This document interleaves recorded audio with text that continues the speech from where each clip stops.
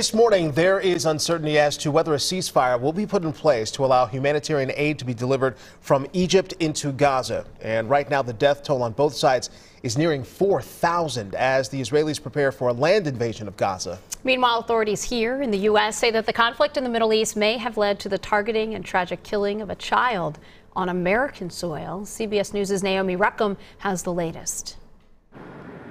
More Israeli ground troops have moved closer to Gaza. Military officials say a Hamas commander was killed over the weekend by airstrikes.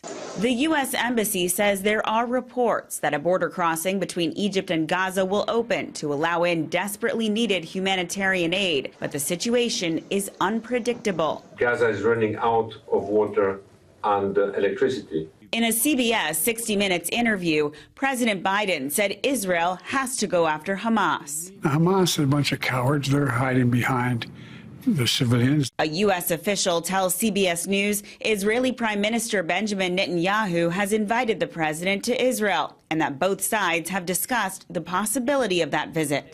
Though today, Secretary of State Antony Blinken is back in Israel after meeting with multiple leaders in the Middle East over the weekend. Flights carrying Americans returning from Israel landed in Florida, New York, and Chicago. I got to the gate, I sat down, and I started crying. But in a nearby Chicago suburb, a memorial is growing after authorities say a knife wielding man attacked his tenants injuring a Palestinian mother and killing her six year old son. The sheriff's office says the child was stabbed 26 times. How can anyone do that to a little boy?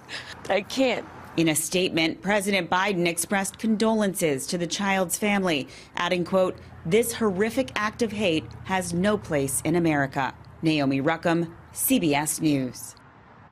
Department of Justice has opened up a hate crime probe into that attack in Illinois. Meanwhile, the FBI is warning that threats in the past week have increased against Jewish and Muslim facilities. The agency is asking for tips from the public, with their biggest concern being lone wolf style assailants.